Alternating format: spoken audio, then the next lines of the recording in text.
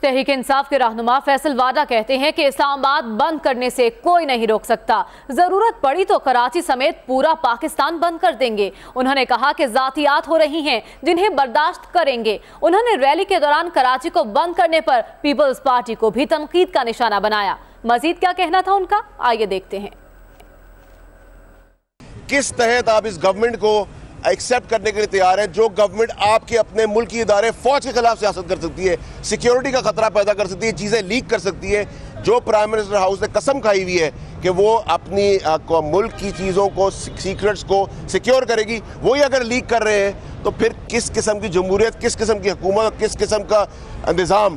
جب آپ کا پرائم منسٹر انوالڈ ہے، اپنے سیکیورٹی اداروں کے سیکرٹس کو باہر آؤٹ کرنے کا اور آپ پھنسا رہے ہیں جرنلسٹ کو یہ کہاں کا سمجھوتا ہے چودھری نثار صاحب اتنے بلند دعوے کر رہے ہیں؟ چار دن کا انہوں نے کہا تھا چوتھا دن تو آج پورا ہو گیا۔